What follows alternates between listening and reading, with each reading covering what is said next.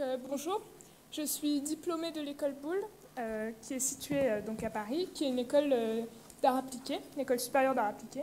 Et j'ai été diplômée d'un DSA en mai dernier. Donc, mon projet de diplôme consiste en la qualification du quartier de la Porte Pouchet à Paris, qui est l'une des 50 portes de Paris vers la banlieue. C'est un quartier qui est enclavé par la présence notamment du boulevard périphérique qui passe en viaduc à cet endroit-là, et aussi par des barres d'immeubles.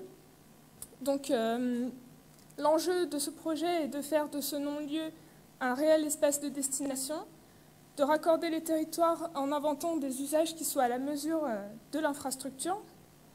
Donc euh, ici, le projet prend en compte la dimension paysagère du site afin de mettre en place ce que j'appelle un paysage de raccordement qui se traduit par la création d'un parc, parc qui fasse de l'espace sous le viaduc un lieu connecteur entre les trois communes donc, euh, qui sont Clichy, Saint-Ouen et Paris.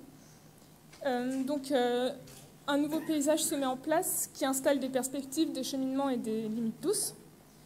Et le vide, qui est aussi abrité par le viaduc, permet la mise en place d'activités potentielles. Donc, moi, j'ai choisi la mise en place d'un marché qui, qui va s'installer grâce à la présence d'une structure nuageuse en sous-face du viaduc, qui va répondre aux contraintes d'usage technique des besoins du marché sans marquer euh, d'emprise au sol.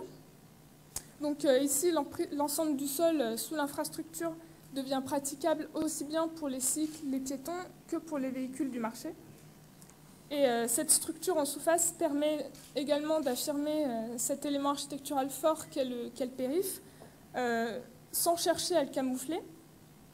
Et elle permet aussi l'intervention lumineuse dans le quartier qui va questionner deux échelles d'éclairage, euh, celle globale de l'infrastructure à l'échelle de la ville et celle du piéton, et qui va donc contribuer euh, à sublimer le viaduc.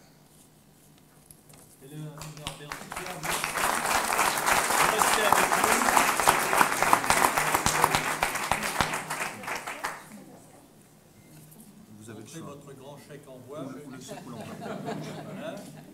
hein Mais il y a une, enveloppe, qui, elle, c'est plus substantiel.